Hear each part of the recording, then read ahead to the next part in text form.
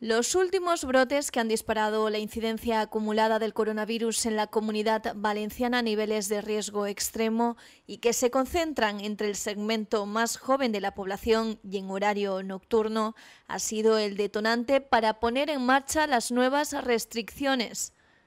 El presidente de la Generalitat Valenciana, Chimo Puig, ha explicado que su gobierno ha planteado al Tribunal Superior de Justicia de la Comunidad Valenciana la implantación del toque de queda en los municipios con mayor tasa de incidencia y con mayor contagios por COVID-19, al menos durante dos semanas. Chimo Puig ha explicado que llevan a cabo este plan con el objetivo de frenar los contagios por coronavirus y llegar al mes de agosto con las mejores condiciones posibles. Entre este lunes y el martes, el Tribunal Superior de Justicia valenciano se pronunciará sobre la petición de la Generalitat para decretar un toque de queda entre la una de la madrugada y las seis de la mañana, así como la limitación de 10 personas de los participantes en reuniones sociales y familiares. Pues a mí me parece bien porque si es necesario hay de hacerlo. No es solución ninguna, la verdad, porque esto es la pescadilla que se muerde la cola no llega a solucionarlo. Eh, empieza, vuelve a empezar, continúa. Mientras la gente no sea responsable, está ahí la cuestión, creo yo. Pero vamos, no lo sé. Si realmente ha servido otras veces, pero es que luego vuelve a pasar lo mismo. Eh, están, están las personas que no son responsables. Porque sí que es verdad que los jóvenes están siendo un poco menos responsables, pero por el tema de la hostelería pues me parece, me parece un poco excesivo.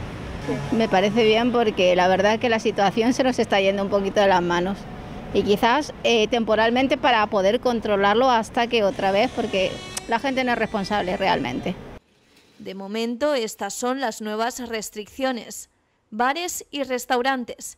Los locales de hostelería y restauración adelantan su hora de cierre hasta las doce y media de la noche. Además, se reduce el aforo por mesa en el interior, con un máximo de seis personas y de un 50% del total del aforo. Discotecas. La actividad de las discotecas, pubs, salas de fiestas y locales de ocio nocturno queda suspendida, aunque podrán realizar actividades de hostelería y restauración compatibles con su licencia, con la misma normativa que estos locales. Grandes eventos. Los eventos masivos reducen su aforo a 3.000 personas en espacios al aire libre y a 2.000 personas en espacios cerrados. Venta de alcohol. La Generalitat ha modificado la Ley 10-2014 de Salud de la Comunidad Valenciana para prohibir la venta de bebidas alcohólicas desde las 8 de la tarde hasta las 7 de la mañana del día siguiente en todo tipo de establecimientos. Toque de queda y reuniones sociales. La entrada en vigor del toque de queda depende de que cuente con la aprobación del Tribunal Superior de Justicia de la Comunidad Valenciana, al igual que la entrada en vigor de la limitación de personas en las reuniones, pues afecta a un derecho fundamental.